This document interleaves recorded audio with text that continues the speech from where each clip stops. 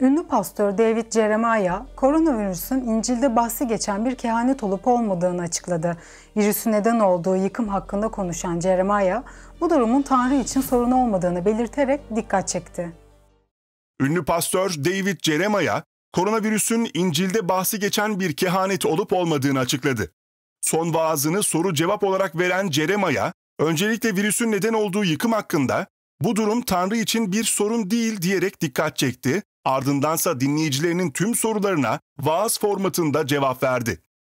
Turning Point Radyo ve Televizyon Bakanlıklarının kurucusu David Jeremiah, konuya öncelikle İncil kehanetlerinin Tanrı'nın gelecek için planlarını simgeleyen bir olay, sembol, nesne, yer veya kişidir tanımını yaparak başladı. Ceremaya İsa gelecekte işaretler göreceğimizi söyledi. Ayrıca ikinci gelişinin gününü ve saatini kimsenin bilmediğini de vurguladı. Birisi size İsa'nın ne zaman geleceğini biliyorum derse, ona bu bilginin insanoğlu tarafından bilinmez ve imkansız olduğunu anlatın dedi.